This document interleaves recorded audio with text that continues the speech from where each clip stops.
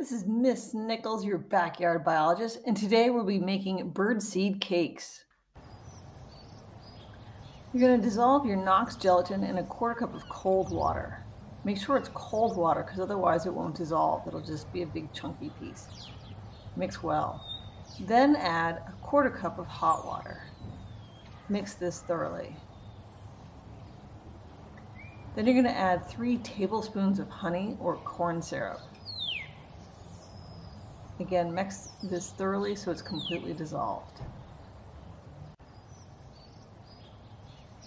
You're going to need three cups of birdseed, any kind will do. You're going to add three quarters of a cup of flour,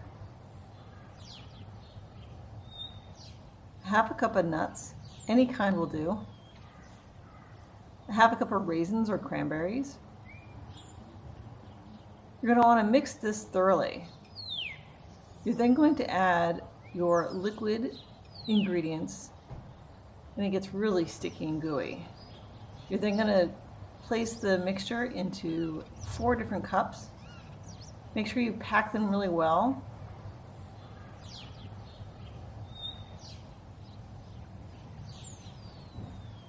You want to poke a hole all the way down through to the bottom for your string to go through.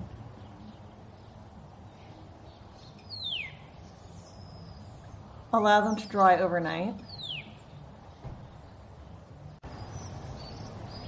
The next day, you want to remove them from the containers.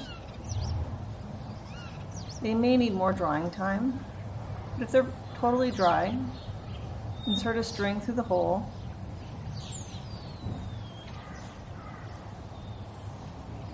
Tie a stick to the end of the string Any knot will do, it doesn't matter, as long as it's sturdy and stays tight. Pull the string back through the hole.